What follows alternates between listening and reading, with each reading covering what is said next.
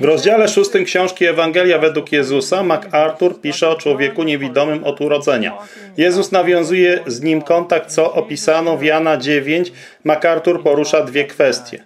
Po pierwsze, MacArthur twierdzi, że choć niewidomy miał co prawda pewną miarę wiary po tym, jak został uzdrowiony, ale dochodzi on do tego, co MacArthur nazywa pełnią wiary w Chrystusa dopiero gdy wraca i pada przed Jezusem, oddając Mu cześć. Definiuje on pełnię wiary w Chrystusa jako pełne poddanie Mu swojego serca, duszy, umysłu i siły.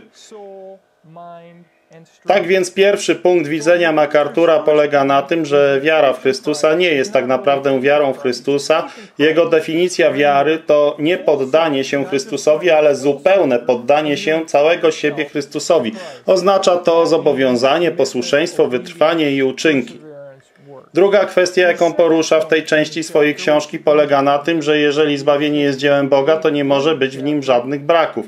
Oczywiście ma na myśli, że w życiu zbawionego człowieka pojawią się zmiany oraz owoce.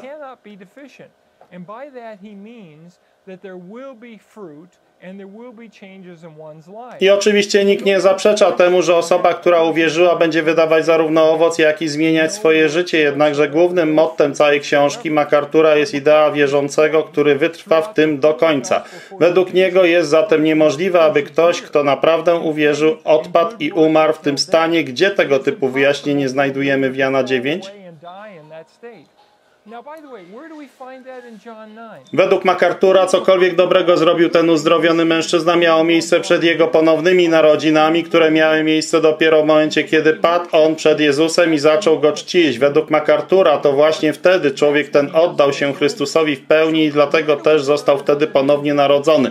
Gdzie zatem możemy nauczyć się czegokolwiek o życiu tego człowieka po tym, jak został narodzony ponownie? Odpowiedź brzmi nigdzie. Zatem jak MacArthur może użyć rozdziału 9 Jana, aby udowadniać doktrynę o wytrwaniu świętych, okazuje się, że nie może. Mamy tutaj znowu do czynienia z egzegezą, bo MacArthur ponownie wczytuje swoją teologię w tekst biblijny i niestety robi to raz za razem w całej swojej książce.